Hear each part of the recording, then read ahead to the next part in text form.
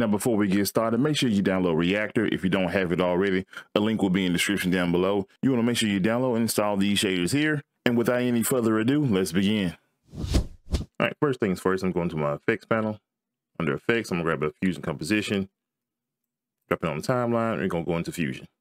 Now, of course, we have nothing present, so I'm gonna move this to the side, and I'm gonna grab a 3D text node, and I'm gonna grab a 3D renderer. Anytime you're messing around with 3D, of course, you need a renderer and actually render out what it is that you're creating. So I'm gonna take the output, connect it to the renderer, and take the output of the render, connect it to my media out. Should get this blank composition up here. Move this down. With the 3D text selected, I'm gonna go into the inspector tab, go into the dialog box, and I'm just gonna type in something and go down here and select my font and then I'm readjust the size. You can adjust the 3D text node from the transform layout here, or you can grab a transform node. For this, we're just gonna use a transform in the inspector tab. I'm just gonna move it down the Y axis. Well, actually, before I do that, I'm gonna click into the viewer and hit control G to bring up the grid. Then I'm gonna use the Y axis to kind of center it. And behind this 3D text node, I actually want to grab a 3D merge node. Make sure it's attached to my node flow. And back in the inspector, I'm gonna select text again, go down to extrude. I'm gonna cut this up. This is actually gonna bring depth to the actual 3D text. I'm selecting merge 3D. I'm gonna hit one on the keyboard. By clicking in the mouse and right clicking, you can actually move around the 3D space. I'm go back to this 3D node and we need a light to actually be able to view this.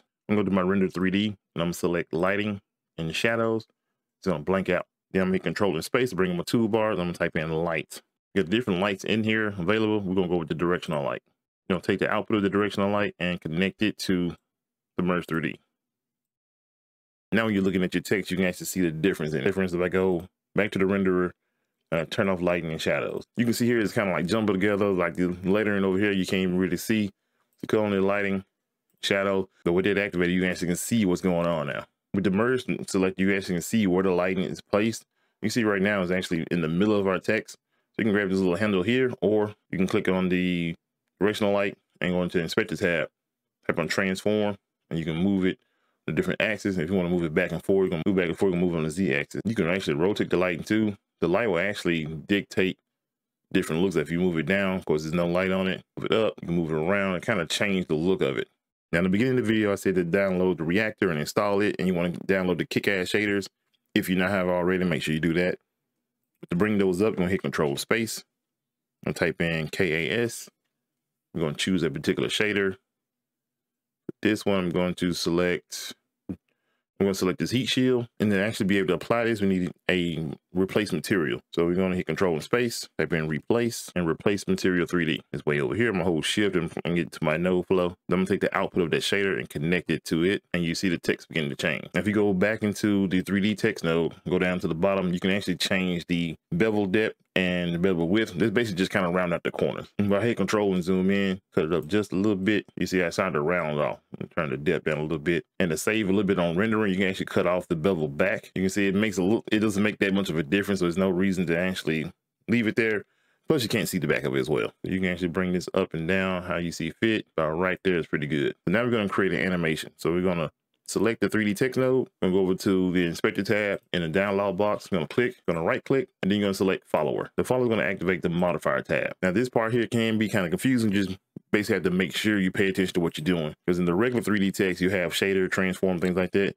Then on the modifier, you have transform shaders and things like that as well. So you want to make sure you're on the right one. We're going to be using shading on the modifier. But before we get to that, we're going to change the order. When it says automatic, we change it from left to right. We're going to leave in between each character as it is. And then we're going to cut up, turn up the delay just a little bit, probably about, about two or so. From there, we're going to go into shading. We're going to scroll down to position hit the drop down arrow and we're going to create a keyframe on the z axis. Now default diffusion composition is usually five seconds assuming that you have not changed those parameters, I'm actually going to go into frame 60 and I'm going to set a keyframe. Then I'm going to frame zero and bring it down. It doesn't go down far enough. So I'm actually going to double click, hit minus, I'm hit 25. As you can see down, it's really small in the background. It's going to create the keyframe and over time, actually I'm going to change this to single view so you can see it better.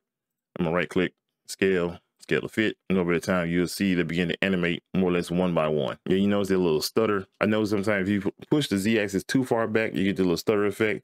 So I'm actually going here to frame zero and I'm gonna double click and I'm gonna change it to negative 10. Also too, the texture is kind of resource heavy. So if you actually go through and select both these nodes and hit control P, that will actually deactivate that texture. You basically want to reactivate it at the end. Now we're going back into our text, go back to the modifier, double click on follower, and we're gonna go back to timing. I'm gonna turn this down a little bit, try to get rid of the little glitch delay. A good spot be like 1.53. Now, on the other hand, if you want more separation between your characters, you can crank this up to, as you crank it up, you can actually see it animate. So I'm gonna crank it up to uh, 60, so that should be good. Take a look at it. Now you notice it actually goes past the 60th frame. We actually can adjust for that as well. Go up here to keyframes. I'm gonna actually hit this, let's zoom to fit. And actually I'm gonna move this up so you can actually see better. I'm gonna hit F4 for full screen, zoom to fit again, Go into this 3D text, we hit the drop down, it's gonna show our keyframes. And select it, and then hold control, select the secondary frame, go down here to where it says keyframe stretcher or key stretch, click on it, and then you can actually tighten up those keyframes so you get the same animation, but it just play out over time faster. So I'm bring it up to, leave it at 40. And no, let's go to 30. Then I'm gonna close the keyframes, bring this back down and play it back. Now you see you have this nice animation in between each character within your word. Now, of course, you wanna smooth that out.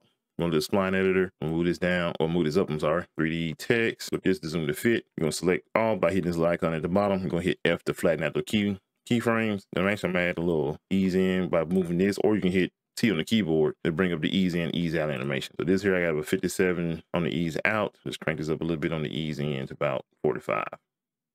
Then I pull this back down and close the spline editor. I can go back in here and select these two, hit control P. That will bring back in my texture. Then on the edit page, you want to make sure you have your render cache on, go to playback, render cache. I got to set to smart.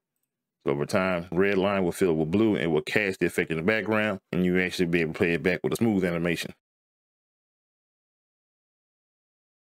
But we don't want it just to be in the background, just lingering around like some old bum on the street.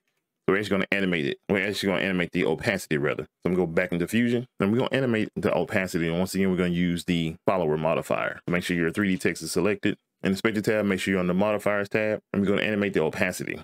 So I'm actually go to about frame 10. I'm gonna set a keyframe and go to frame zero and bring it all the way down. Now, for some odd reason, when you have a texture on there like this with the kick-ass shaders, it doesn't lower the opacity or animate the opacity for whatever reason. So if I Say for instance, when they were here, he control P and cut it off. Now it animates. So I had to find a workaround. And the workaround found to actually be able to to animate the opacity, click on the placement material node and inspector tab. By default, this is actually closed. Gonna hit the drop down and the mode on each one of these is replace. We're gonna change it to multiply.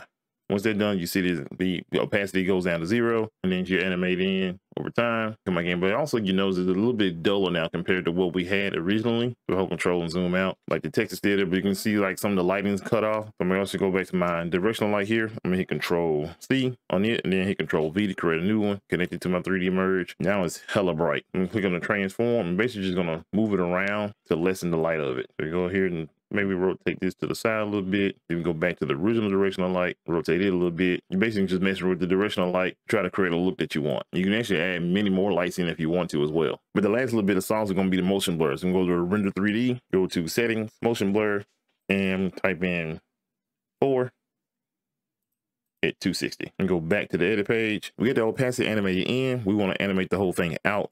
I'm just going to drop down this little fade out here and we play it back.